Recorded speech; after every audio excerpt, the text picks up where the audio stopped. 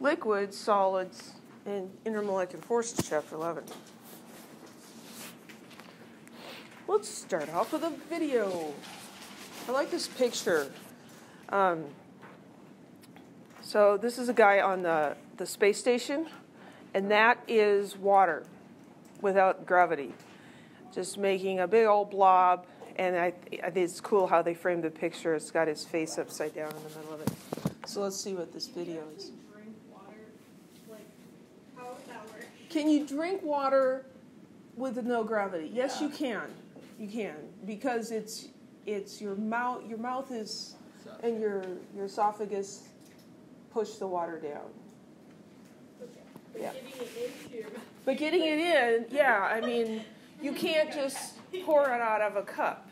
You'd have to drink it through a straw, or go up to the blob floating in the air and go and suck it in or something.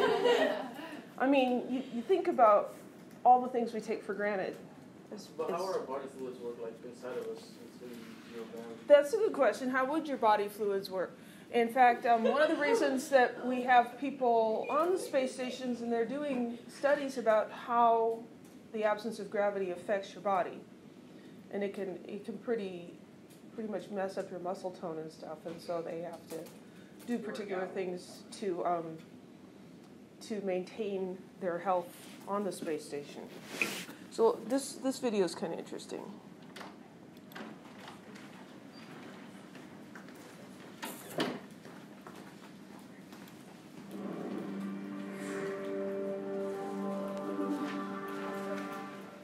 The question is, if you get a clot dripping wet without gravity and you wring it out, what's going to happen? What will happen to a wrung out clot? So, and had to use equipment that was here on board the space station.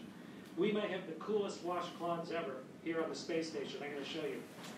Here's one of our washcloths. And it's compacted. It's put down into this little tiny hockey puck so that uh, it saves space. But when you open up a hockey puck, and you pull out your washcloth, this is the one I'm going to use for the experiment today. And so when you open up your hockey puck and turn it into a washcloth, it was compressed in a great big vise. Okay, so here's my washcloth, like a magic trick. And now I'm going to get this soaking wet, and then we're going to see what will happen when we wring it out. You can't even get it wet. And Kendra suggested that I dip this in a bag, but bags don't hold water in space, so instead I filled a water bag. This has drinking water in it. And I'm going to uh, squirt a bunch of water into this washcloth.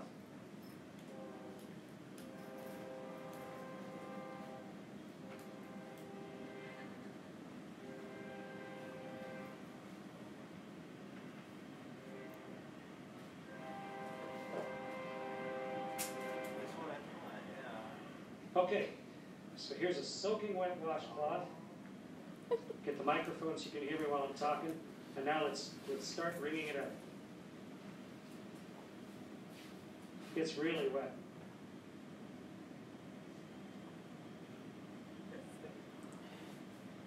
It's tasty. It's tasty. Uh,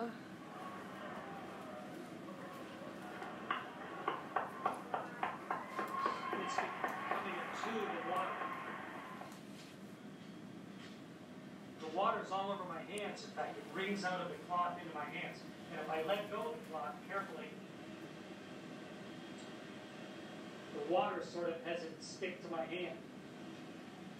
Okay, so the experiment worked beautifully. And the answer to the question is the water squeezes out of the cloth, and then because of the surface tension of the water, it, um, it actually runs along the surface of the cloth and then up into my hand, almost like you had jello on your hands or gel on your hand, and it'll just stay there.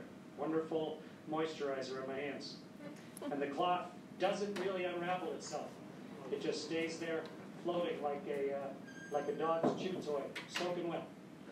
Great experiment, worked perfectly. Meredith and Kendra, congratulations. Great idea. Canada. That's Canada? Canada.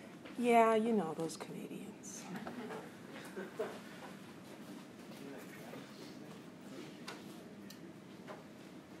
So, what do you guys think of that? It's kind of interesting, huh? What, Question? what, what water droplets affect the around the space station? Just like, just pointed around. It would be like drinking water. It would be like staying down or into the. Yeah, so it, it brings up a lot of questions, right? So, what does happen with the water when you drink it? Does it go down? Um, oh, there's my stylus. Um, what happens to those loose particles that just go floating off into space? Um, They don't stop moving. well, they're, they're just going to, like, you know, float around until they hit something. And you saw how when he wrung the, the cloth out, the water just traveled along his hands. So, what do you think would happen if a little floating droplet of water came and maybe contacted your face? What would it do? Would it bounce off? No, it would stick, right? So, why does water do that? So, we're going to talk about why water molecules stick together in this chapter. It has to do with the polar molecules, yeah. So, intermolecular forces. Inter is a prefix that means between.